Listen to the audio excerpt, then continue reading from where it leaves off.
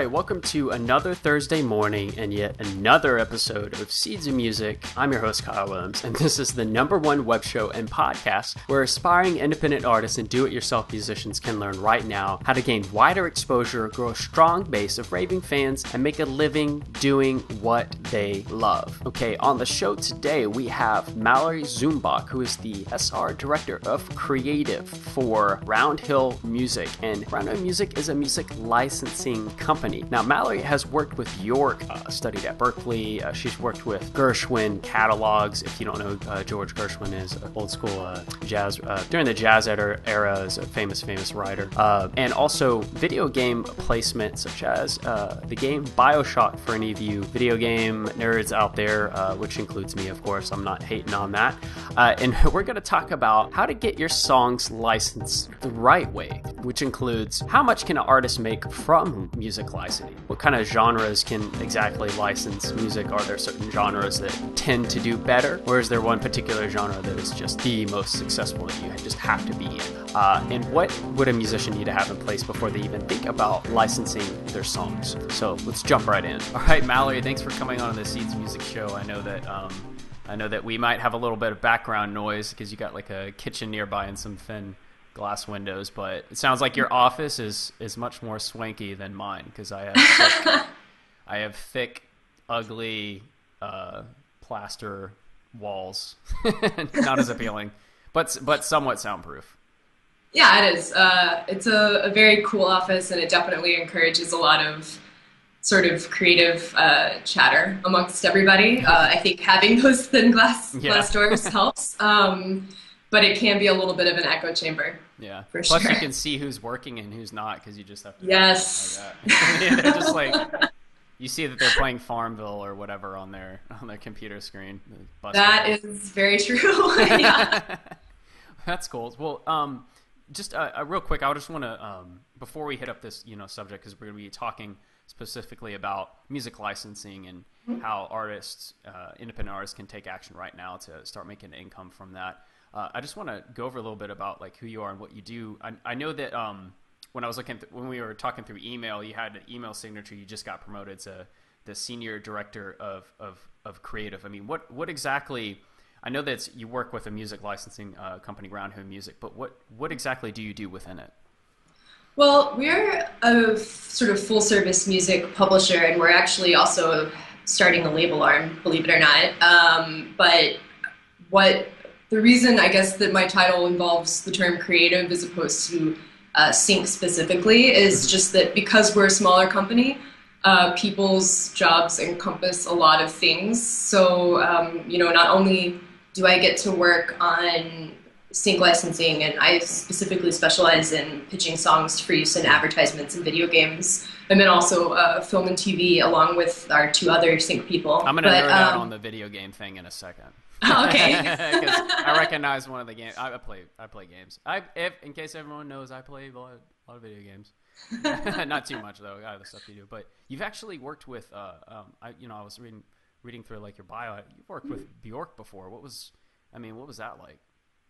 Um, that was actually my very first job um, at a small independent label called One Little Indian Records. Um, they are a UK based company uh, founded by a guy named Derek Birkett, who, um, as a teenager, was actually in a punk band that toured with Bjork. So she was one of his first sort of signings. Um, and in the States, uh, we basically got all of her sort of more obscure releases because she had a deal with a bigger major label here for her mainline releases. But when I was there, we released. Um, the soundtrack to Drawing Restraint 9, which was this film that she did with her um, partner, Matthew Barney, who's like an avant garde artist. And um, it was it was cool. If you're someone like me, I'm a huge Bjork fan, so I oh, wow. love the weird the weird stuff that she does. And for that to be my first job to get to work with that record was was really interesting. Um, it was sort of a piece that they did about whaling, and so she used a lot of these traditional Japanese instruments in it, and it was, I mean, just very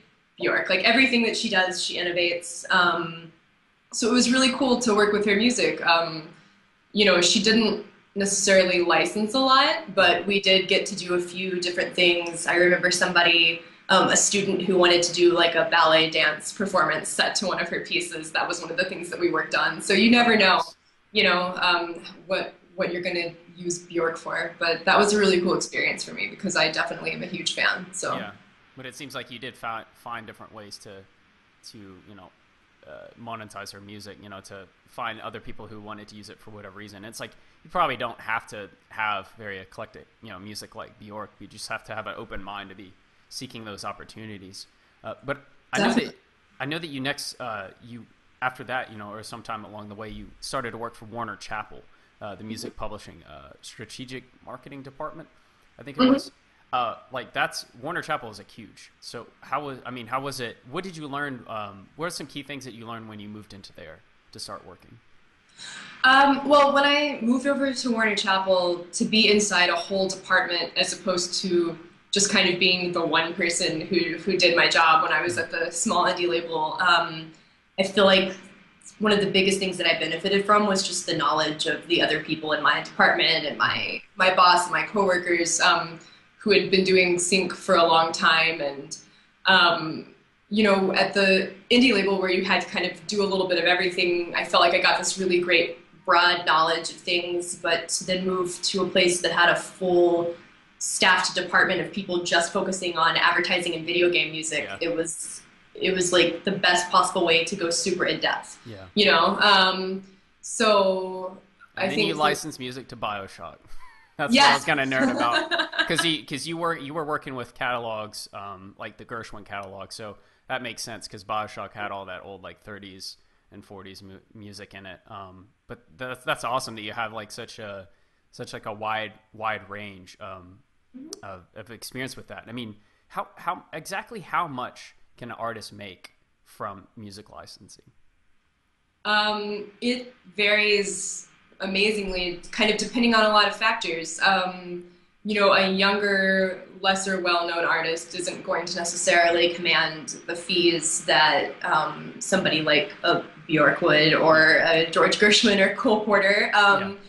You know, um, but by that same token, you can make a lot of money over time with a lot of small fee uses. Um, you know, and the pricing also differs depending on what the use is for. So getting your song used as an indie artist, getting your song used in a TV show might equate to a couple of thousand dollars, right? Mm-hmm. But getting that same song used in an advertisement might end up making you twenty or thirty thousand yeah. dollars. Um, over how depending on the advertisement, you know, how long of a period of time are we talking?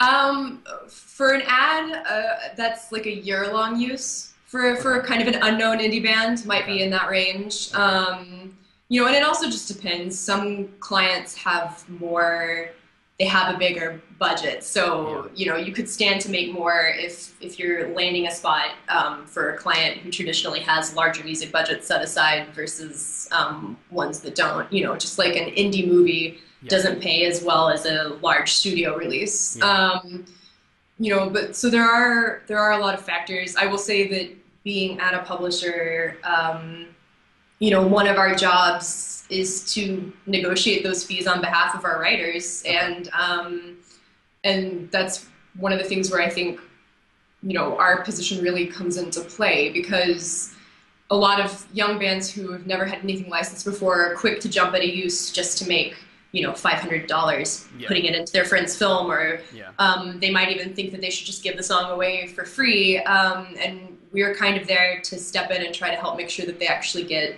paid a fair amount, you know, and that they are getting their music placed in the right uses. Okay. Where maybe you're not making as big of a fee, but the exposure will be worth it, or you know what I mean. We yeah. can kind of help better judge that just from our experience. Um, so, so that's definitely get help. Yeah, yeah, get so. help. Get help. If you're think, uh, thinking, uh, do you think every artist should think about li- at least think about consider licensing music? Um, I think so. Yeah, I mean, when I was at Warner Chappell, we had bands who certainly didn't need to. Radiohead doesn't need to license their music, oh, you know, and yeah. um, they never really were into advertising, uh, but they were at a point in their career where I don't think it mattered as much. Um, but these days, I think if you're, you know, a newer current artist, um, you definitely really have to consider it because there are just so many bands out there. There's so much noise, and to stand out from the crowd, um, you know, I feel like licensing can be really um, helpful. It can be a really helpful factor, and plus, it can help make you money. You know, sales aren't what they used to be. Um, you know, we do smaller deals with these younger bands where if they land one or two advertisements, then they've recouped their advance. So, you know, I think it's really important to be open to that, um, but also to work with somebody who's not going to steer your music into something that it shouldn't be used in. Yeah, yeah. You know, I mean, how do you balance the artistic integrity with, uh, you know, the music music licensing? Because I know whenever uh, for some artists, when you start talking money, uh, they want to make more money, but they're also it also makes them uncomfortable. Sure. Um, I think we we are lucky to be a new company where you know um, we've only been around for a few years, and so when we start talking to a writer about signing them, we are able to have the conversation up front of like what makes you uncomfortable in in licensing. You know, what are things you would prefer not to do versus what are you open to? Um, at a bigger company like a Warner Chappell or Sony, like some of those deals are 20 years old, so they don't really have that luxury. They kind of have to, if, if the writer's really picky, they just have to deal with it in the moment. Um, but for us, I think, you know, we specifically look to work with people who are open to licensing, but we also talk to people in advance um, so that we know not to pitch their music for a certain, you know, product that they don't like. If they're really into protecting the environment, then, then. We're not going to be pitching it for like a gas guzzling. Monsanto, yeah. yeah you know if mean? you don't like GMOs, you're not going to be hitting up Monsanto for. No, like, yeah. exactly. Yeah, and so I think that that's really important because we don't want to send something out and have a client fall in love with it and then not be able to use it. Um, and but we also don't want to be putting pressure on our artists yeah. to use to use a song in a way that they feel completely goes against their own like morals. You yeah, know? yeah, so, yeah. Um, so I think that's definitely something that we try to have conversations about early and often. Yeah. What are the what are some other common objections that you get from artists who are considering music licensing besides like, hey, don't don't use my uh, uh song uh, song in an article in an ad about killing baby seals. I don't know. um, well, another really common thing that comes up. Um, actually, to go back to Bioshock is a good example. That was one of the first games that I worked on, and when I was doing a lot of the clearance, where I would be reaching out. You know, they knew what songs of ours they wanted to use at that point, and I would be reaching out to the managers um, or the lawyers. In that case, it was a video game that was using a lot of older standard era music. Mm-hmm. Um, so most of the people representing the estates of those writers had never gotten a video game request. Had before never heard of it before in their life. They're like, "What's this video yeah. game?" and we definitely got a few people who were very concerned about the fact that there was violence in it. You know, um, I remember one representative in particular um, turning us down, and then she talked to her granddaughter about it and changed her mind because her granddaughter was like, "No, I've been hearing really good things about this game, and you know, it's not." humans it's not human on human violence it's human on like monster violence you know what i mean? Yeah, and yeah, but it totally is though. Yeah i mean it is it is but it's you know, like we, mutated humans kind of yeah but, but we definitely had to you know do some convincing and um, we thought for sure that a couple of the songs that were from that particular catalog that did end up being in the game um, weren't going to get approved because she was really nervous and concerned about the fact that it was a, a you know a first person shooter. So yeah, um, yeah. so that's definitely something that comes up is is violence. You know, I know that um, for all of the artists that really want to have their music in Grand Theft Auto, there are always a few that are wary um, yeah, because you know it's it's a violent game. And then um, I think sometimes that can come up in in the movie the movie world as well. You know, um, some people are uncomfortable with their music being set behind a sex scene, or yeah. you know, they might put into their agreement that they don't really want. Um, they don't really want the song used in anything that's you know got an X rating versus an R rating, or so there's there is some sensitivity um, to stuff like that. Um, but I mean, it really depends. Some people don't care at all. You know. Yeah.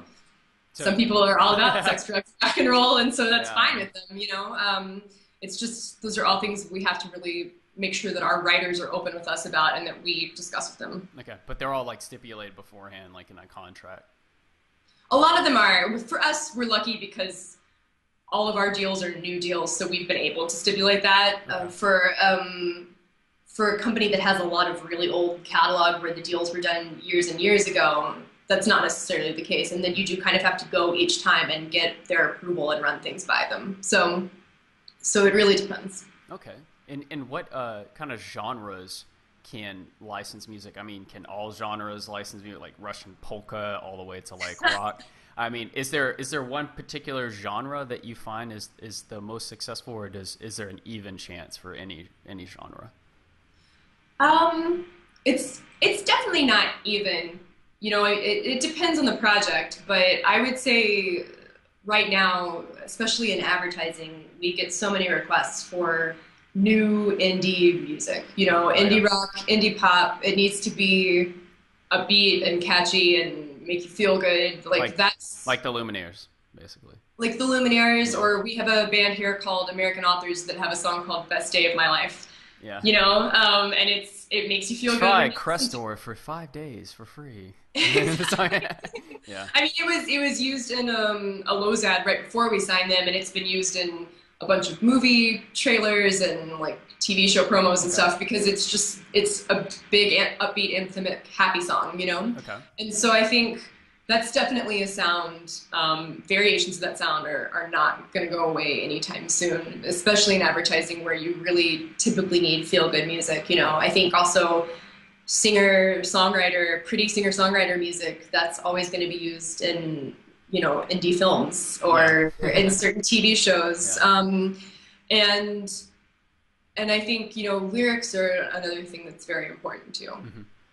um, in addition to to the genre. But definitely right now, indie, indie rock is is a pretty safe bet. So a little bit harder to license Cannibal Corpse. yeah, yeah. I'm not I even mean, gonna go into the lyrics there. But, yeah, uh, no, lyrics can be problematic, and But even the fact that music's so heavy, you know, there Yeah. there's there might be a specific use for that. oh, there yeah. may be a specific movie. There that's you know no music is completely the first Ace. Ventura. The first Ace Ventura. They had an appearance and a performance, so it was like performance. Yeah, You know, where Yeah, you know. jumps on stage and he's like, oh. Exactly. totally. Yeah, that is a great. so Yeah. yeah, yeah. Don't don't don't don't give it. Don't. Well, the bottom line is like if let's say that someone you know they're not like you know indie pop uh, genre. I'm sure plenty of artists are, don't consider uh, them in that in, in that in that way. But uh, it you know the purpose of the a music licensing company is to help you find uh, those opportunities. So uh, just don't. My advice to anyone would be to not pass that up. Would you Would you have the same kind of advice? Yeah, I think so. And I think, you know, um, to be open to stuff, to have to realistic expectations. You know, if your sound is something that is a little bit more out there, um, to know that you're not going to necessarily get as many opportunities as an American authors or a Lumineers. But, um, you know, that being the case, when an opportunity comes your way, then Yeah. you really need to, to consider it because that may be the only request you're getting this year, Yeah. you know? Yeah, and the, and the, and the music licensing uh, should be only just one piece of your of your business strategy as a as an independent artist, and you should have a business strategy if you don't. Oh, for sure. it's like, but it's it's just one it's one way it's one income stream that you can and you can set up now. Mm-hmm. Like what what would a musician need to have in place before they even think about licensing? Um, for me, we always make sure that our writers have at least two versions of every song the the normal version Oh, and then okay. the instrumental version Okay. um, and you need to be ready to supply those at a moment's notice because you never know if somebody's going to want to have to like edit um, edit things so i think that's that's really key be prepared with your audio when you're in the studio recording stuff think about the fact that you need to have the instrumentals too because it's so much harder to go back and create them later um, Oh, okay. we've encountered that with artists before yeah. um, you know, um, I think you, for us, it helps for the material to be released on the one hand because then people know, oh, if I'm going to use this in my TV show, I'm I'm going to be able to turn around and steer people straight to the iTunes or whatever, so they know that it's a legitimate song. Mm-hmm. But also, the sooner that you can get it to people um, before it's released helps, um, because there are certain games, you know, a lot of the EA Sports games, for example, um, or a lot of movies where they need to decide on the music months in advance and they might want something that's not really releasing until the time that the game or the movie or whatever is coming out. Oh, so, um, you know, I think like if you're a band and you're signed to a publisher um, or you're working with a company that represents bands for sync, then you really need to make sure that you get that audio to people with all the correct information. Um, you know, we need to know if there's a writer on it that's not a writer that we represent, that's represented by another publisher. Um, we need all that information. Yeah. yeah. That has to be cleared up and settled. We can't pitch something that has a sample on it unless the sample is free and clear and you yeah. know how much yeah. the song is the you know the sample counts for. Um, so you really have to have your your ducks in a row on on that side. Um, I think you know if you really want to be prepared to license to license stuff. Um, and then I think also, you know, again, part of preparing yourself is being open minded,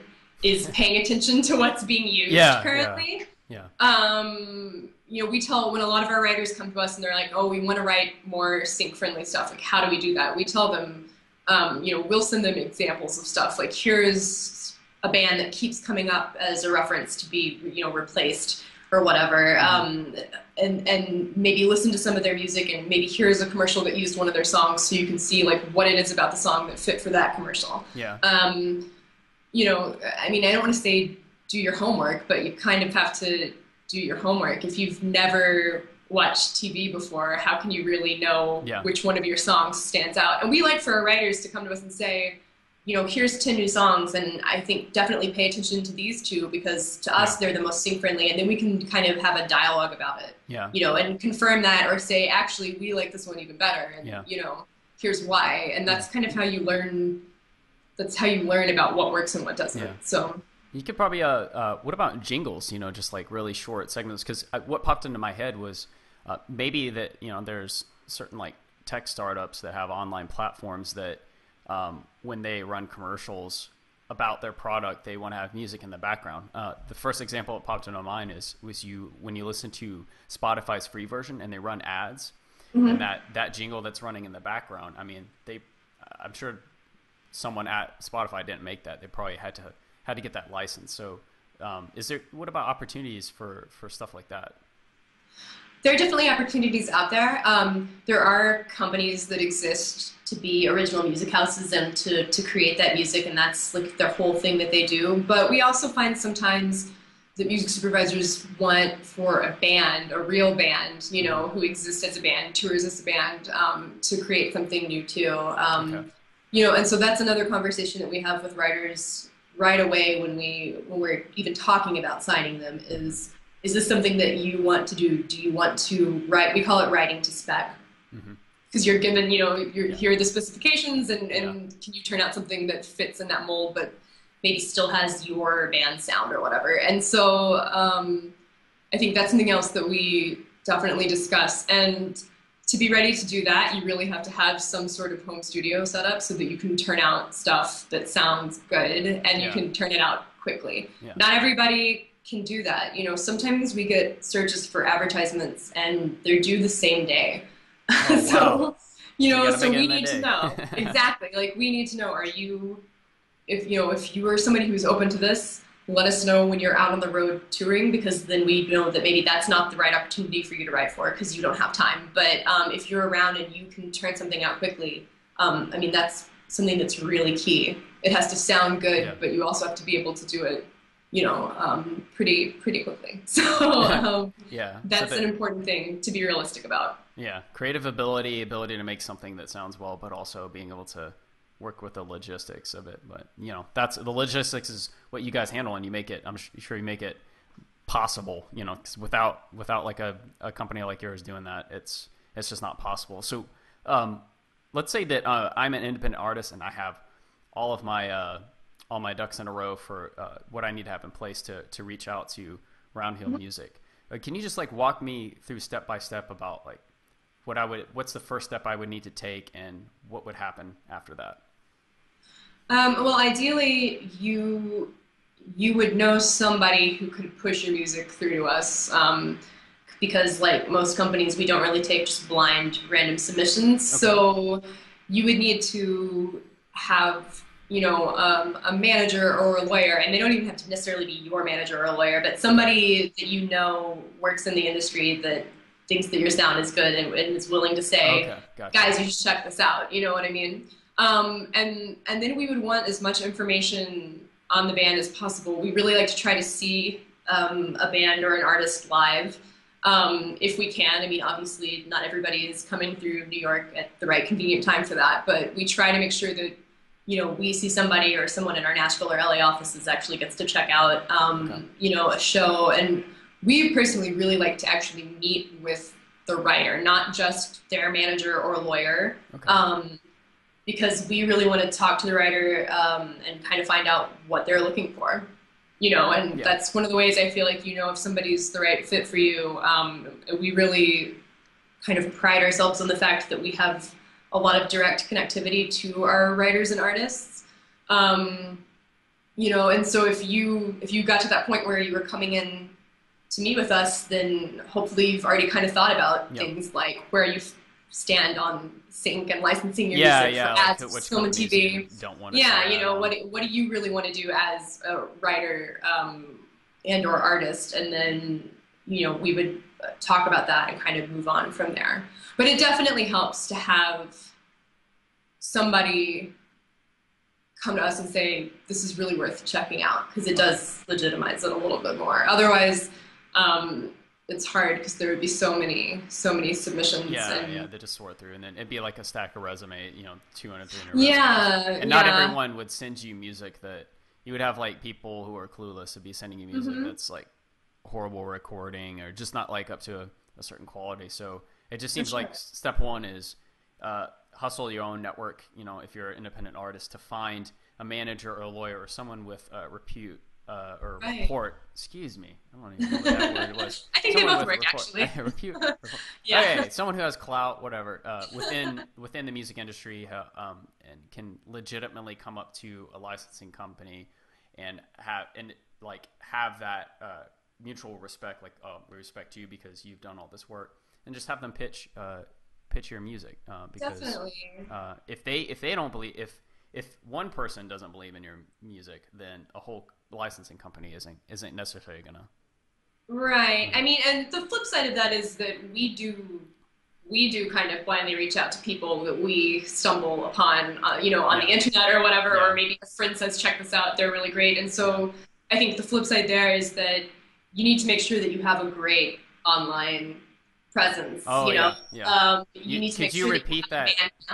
Could yeah. Repeat that. Could you repeat that very statement? Yeah, uh, you need to have a great online presence. Um, which you means need to have, which means you need to have a Facebook page. Okay. Um, at least you need to have. Um, you know, a Bandcamp or something similar where we can check out at least some of your music, and then there needs to be a way to contact you mm-hmm. on, on those sites. Um, you know, if I nothing drives me more crazy than when I find a band that I think is awesome and I look all over the web and I can't find a contact any, yeah, yeah, contact information. It's bad. so annoying, you know, like how am I going to get to you if there's not, you know, at least some sort of generic band email, you know, and then actually check that email for mm-hmm. sure. Um, that would be really important as well. Yeah. I think, you know, um, because that's also that's also no good when somebody when somebody posts, you know, um, when you send a message to somebody and then time just passes and time just passes and then yeah. maybe we've already signed three bands and we no longer have a budget. Yeah. Um, yeah. yeah. Hold on one. Okay, no problem. okay, Mally, uh, I know you get you're getting phone calls in now, so I'm just gonna um, I'm just gonna wrap this up here uh, with one last cl- uh, question.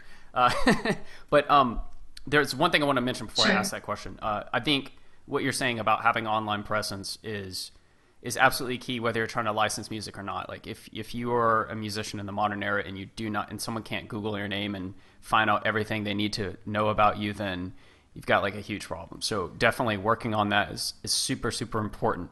So Mallory, uh, last fun question of the interview. What is your favorite album and what would life be like if it never existed? um, I'm guessing Bjork.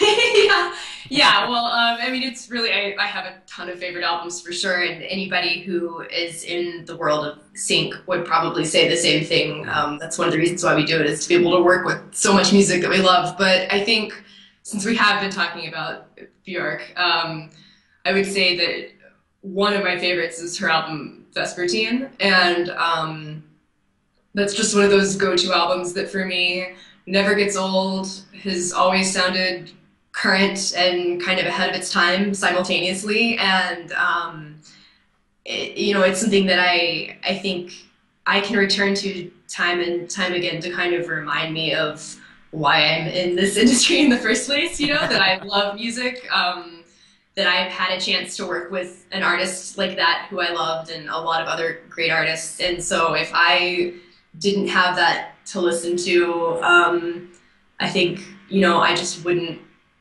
necessarily have that kind of touchstone reminder. Yeah. Um, and so the stressful days or the dark days yeah. would, would, would be um, a, a, bit more prevalent than they are yeah. now. Um, so yeah, I and, get through. Yeah, yeah.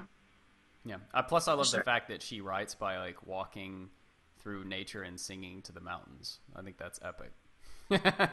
Definitely.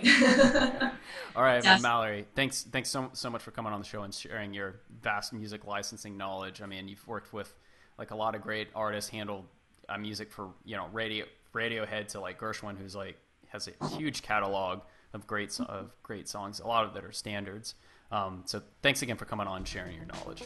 No problem. Thanks for having me. Okay, no problem. See you later. And that wraps up this week's episode of Seeds of Music. We had on the show Mallory Zumbach from Round Hill Music, which is a music licensing company. Make sure to check out the links below. And if you are thinking about licensing your music, just follow the tips that we had in this interview in order to best learn how to approach a company like Round Hill Music to get your music licensed. Because I'll tell you right now, music licensing is definitely uh, a viable option of income for yourself as an independent artist. Next, sign up to the email newsletter if you haven't yet. Uh, the Seeds of Music email newsletter is the best way to stay up to date with all the interviews and special email newsletter content. Also, subscribe to our podcast over at iTunes and leave a rating and a review. It's the best way uh, to hear an audio only version and stay up to date with that. Also, and the rating and review part will help us rank higher in iTunes and also help me get bigger and better interviews more ears for this show. If you like this interview, make sure to like and share it. We have like and tweet buttons on the top and bottom, and also a large share Facebook button uh, in the middle of this page. Lastly, comment on the video. What was your greatest revelation from this interview and how you apply what you've learned?